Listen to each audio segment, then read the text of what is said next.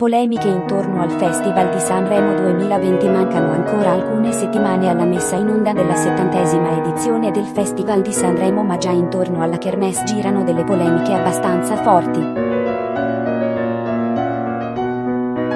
Oltre alle dichiarazioni di considerate sessiste, c'è stato il forfait di un cantante in gara e da parte di Monica Bellucci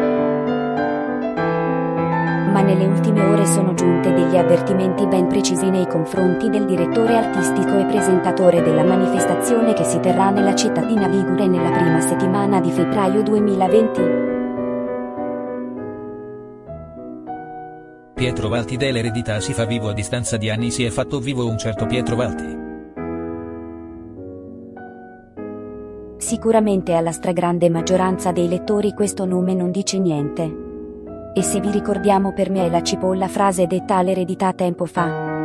Ebbene sì, è un ex concorrente del game show del preserale di Rai 1 allora guidato da... Il cremasco, impossibilitato ad andare avanti nel gioco iniziò a sparare a casaccio una serie di risposte.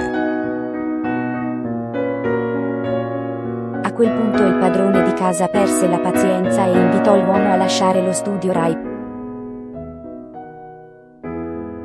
Dopo tempo Pedo disse che i vari quiz dell'eredità erano truccati e, una volta che il suo destino era segnato, decise di uscire con stile.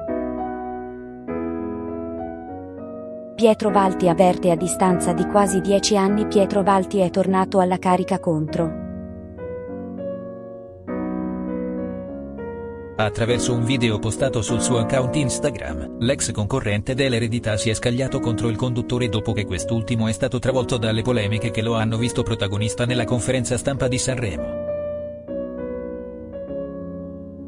Dopo aver tirato le orecchie al marito di Giovanna Civitiello per le accuse di sessismo, l'uomo gli ha dato un avvertimento. Ovvero che molto presto svelerà cosa gli ha fatto quando era concorrente nel game show di Rai 1.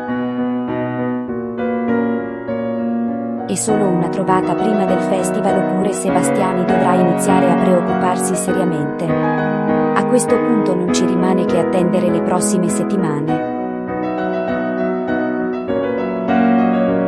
Ecco lo sfogo di Valti su Ig.